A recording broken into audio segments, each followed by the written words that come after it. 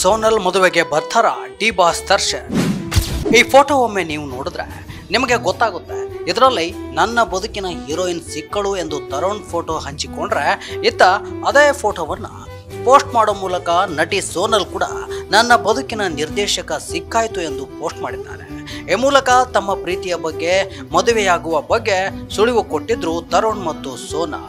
ಅಲ್ಲದೆ ಇಂದು ಆ ಕುರಿತು ಸ್ಪಷ್ಟತೆಯನ್ನು ಕೂಡ ನೀಡಿದ್ದು ಫ್ರೀ ವೆಡ್ಡಿಂಗ್ ಶೂಟ್ ಮಾಡೋ ಮೂಲಕ ಆ ವಿಡಿಯೋವನ್ನು ಸಾಮಾಜಿಕ ಜಾಲತಾಣದಲ್ಲಿ ಹರಿಬಿಡೋ ಮೂಲಕ ಮದುವೆಯ ಸ್ಪಷ್ಟತೆಯನ್ನು ತಿಳಿಸಿದ್ದಾರೆ.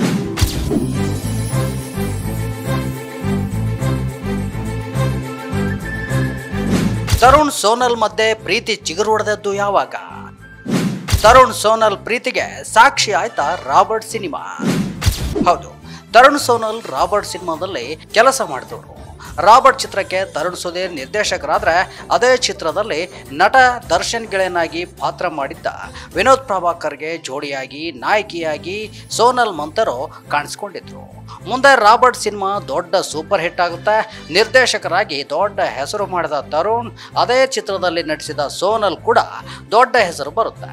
ಮುಂದೆ ಹಲವು ಚಿತ್ರಗಳಲ್ಲಿ ಬ್ಯುಸಿ ಆಗ್ತಾರೆ ಸೋನಲ್. ಆದರೆ ಇದೇ ಚಿತ್ರದಲ್ಲಿ ಪರಿಚಯವಾದ ತರುಣ್ ಮತ್ತು ಸೋನಲ್ ಪರಿಚಯ ಸ್ನೇಹವಾಗಿ, ಸ್ನೇಹ ಪ್ರೀತಿಯಾಗಿ ಇದೀಗ ಮದುವೆಯ ಹಂತಕ್ಕೆ ಬಂದು ತಲುಪಿದೆ.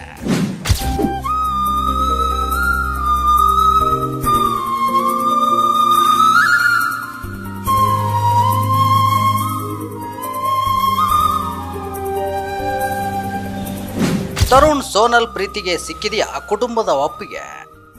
ಹಾಗಾದ್ರೆ ಮದುವೆ ತಯಾರಿ ಏನಾದರೂ ಸಿದ್ಧವಾಗಿದೆಯಾ? ಹೌದು.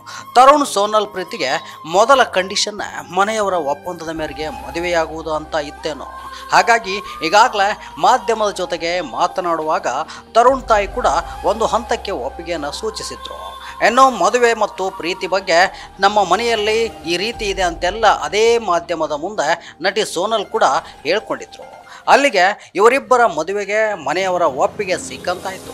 ಇನ್ನು ಮದುವೆ ಬಗ್ಗೆ ಕೂಡ ಸ್ಪಷ್ಟತೆಯನ್ನು ಕೊಟ್ಟಿರೋ ಈ ಜೋಡಿ ಆಗಸ್ಟ್ನಲ್ಲಿ ಮದುವೆಯಾಗುವ ದಿನಾಂಕವನ್ನು ಘೋಷಣೆ ಮಾಡಿದೆ.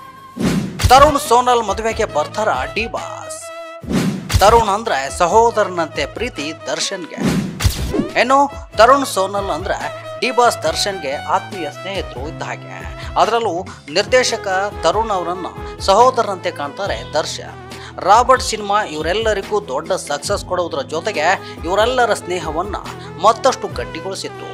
ಸದ್ಯ ದರ್ಶನ್ ಜೈಲಿನಲ್ಲಿರೋದ್ರಿಂದ ಮದುವೆಗೆ ಹೇಗೆ ಬರ್ತಾರೆ ಅನ್ನೋ ಮಾತುಗಳು ಒಂದು ಕಡೆ ಹರಿದಾಡ್ತಿದ್ರೆ ದರ್ಶನ್ ಹೊರ ಬಂದ ಮೇಲೆಯೇ ತರುಣ್ ಮದುವೆಯ ತಯಾರಿ ನಡೆಸಬಹುದೇನೋ ಅನ್ನೋ ಲೆಕ್ಕಾಚಾರಗಳು ಕೂಡ ಸ್ಯಾಂಡಲ್ವುಡ್ ಅಂಗಳದಲ್ಲಿ ಹರಿದಾಡ್ತಿದ್ವು. ಆದ್ರೀಗ ಮದುವೆಯ ದಿನಾಂಕವನ್ನು ಘೋಷಣೆಯನ್ನು ಮಾಡಿರೋದ್ರಿಂದ ಇದು ಹೇಗೆ ಸಾಧ್ಯವಾಗುತ್ತೋ ಅಥವಾ ಅಷ್ಟರೊಳಗೆ ಏನಾದರೂ ದರ್ಶನ್ ಜೈಲಿನಿಂದ ಆಚೆ ಬರ್ತಾರೋ ಅನ್ನೋದನ್ನು ಕಾದು ನೋಡಬೇಕಿದೆ.